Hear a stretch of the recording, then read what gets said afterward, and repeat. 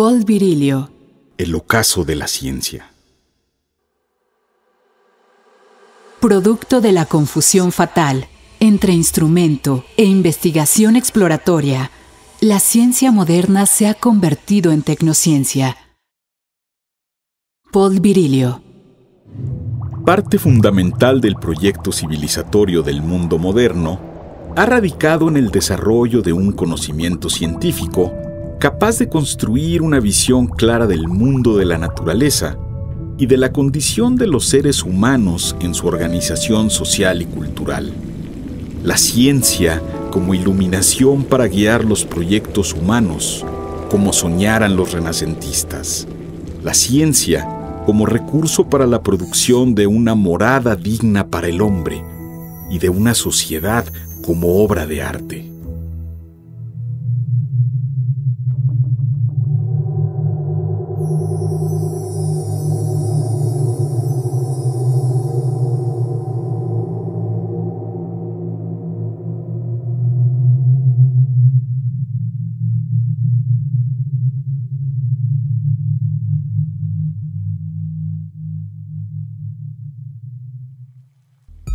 Pero en el devenir del mundo moderno, parte sustantiva de la potencia iluminadora y la autonomía de dicha ciencia se han minado hasta casi convertirse en herramienta de otros intereses.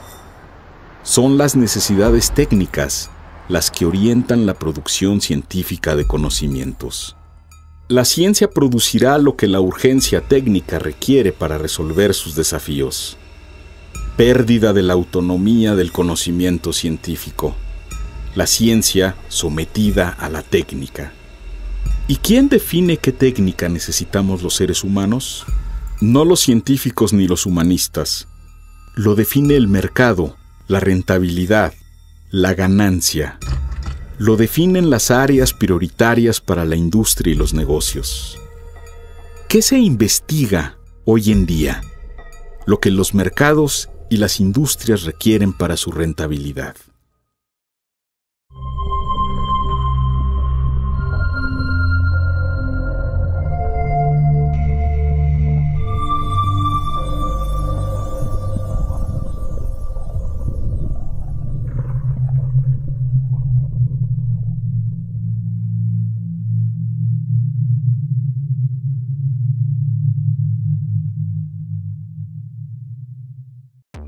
Irak, 1991.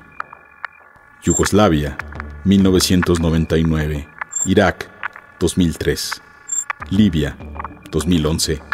Pakistán, Yemen, Somalia y Afganistán, desde 2002 a la fecha.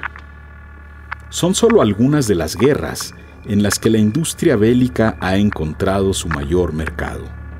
Físicos, matemáticos, ingenieros, biólogos, orientan sus investigaciones hacia la producción de armas de distinta índole, desde las convencionales, que pueden incluir rifles, metralletas, granadas de fragmentación, hasta las armas químicas, biológicas y nucleares.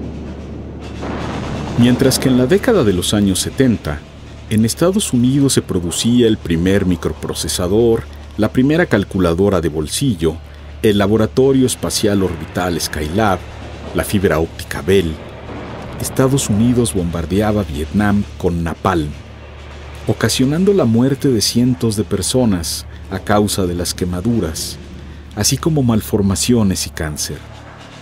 También destruyó el delta Mekong, el mayor manglar del mundo, erosionándolo e intoxicándolo, deshaciendo así su diversidad genética original.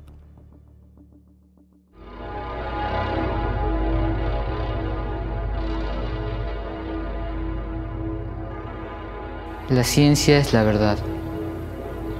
La ciencia es el camino. La ciencia nos salvará. La ciencia es la verdad. La ciencia es el camino. La ciencia nos salvará.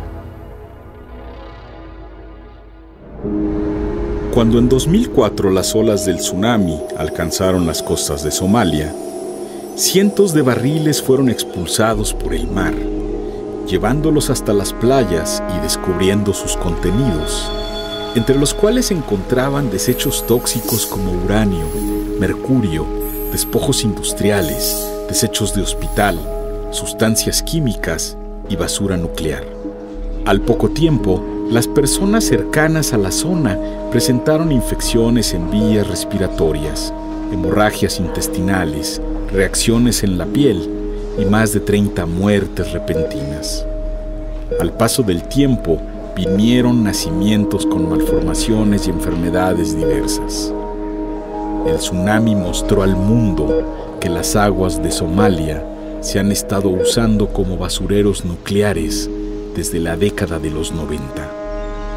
Otros países, como Costa de Marfil, Nigeria y Congo, se encuentran en las mismas circunstancias.